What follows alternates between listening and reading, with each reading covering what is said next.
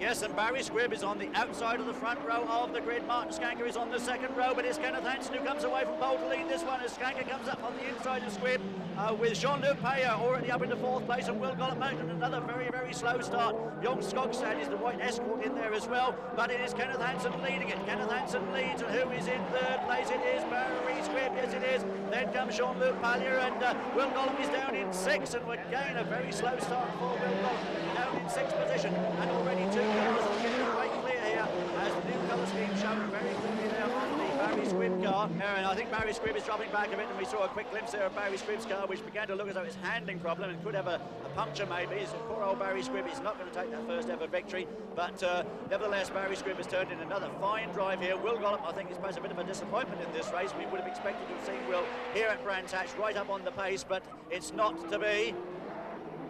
No, we'll right down the order there as Barry Squibb is now being challenged by Jean-Luc and Jean-Luc goes through into third place I think. Jean-Luc Pailler surely up into third place. Martin Schanche still can't do anything about Kenneth Hansen.